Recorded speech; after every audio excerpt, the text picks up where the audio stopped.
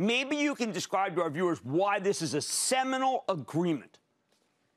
Yeah, so getting Procter & Gamble or LVMH or Estee Lauder and a bunch of other iconic brands, we're over 20 now, they're really engaged in what we're doing on this environmental technology. Uh, we're providing a way to take waste plastic out of the environment. And today, if you think about waste plastic, it's mechanically recycled. Um, and you know that's the traditional way to do it. They get clear bottles, they chop it up, they melt it, and they turn it back into other bottles or more often textiles. What we're doing, as you mentioned, is molecular recycling. And molecular recycling is more fundamental. What we do is we take waste plastic, the 70% that can't be mechanically recycled, that ends up in landfill. And we basically, especially with polyester, which is our leading technology, we unzip that polymer with a little bit of chemistry and purify it, uh, then rebuild the polymer back, and it's identical to the current polymer. And so for P&G, that's incredibly important because they don't want to compromise the quality of the product on the shelf, but they're highly committed to making the environment better in both recycled plastic and getting that out of the environment and doing it at a lower carbon footprint.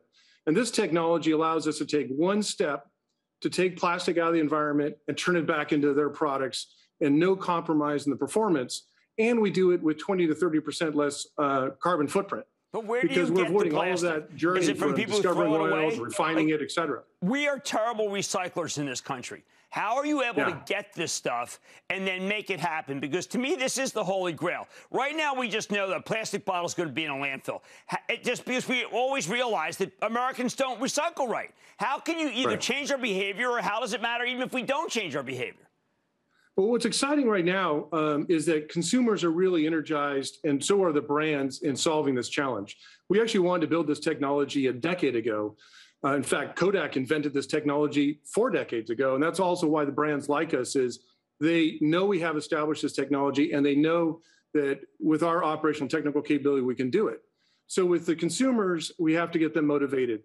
And there's so much waste plastic out there, and today it ends up in landfill. So we can put value on that and, and encourage people to invest and develop it because today it, it's just waste. Uh, so we're changing the whole game around recycling. So not just the mechanical recycling that gets good value right now, but all this 70% that ends up being thrown away, we're, tra- we're, we're turning that back into a, a circular economy. And we think of it as creating sort of a new frontier of circular polymers, you know, as we eliminate this fossil fuel industry. Don't miss a second of Mad Money. Follow at Jim Cramer on Twitter. Have a question? Tweet Cramer. Hashtag mad tweets. Send Jim an email to madmoney at cnbc.com or give us a call at 1 800 743 CNBC. Miss something? Head to madmoney.cnbc.com. Shepard Smith here. Thanks for watching CNBC on YouTube.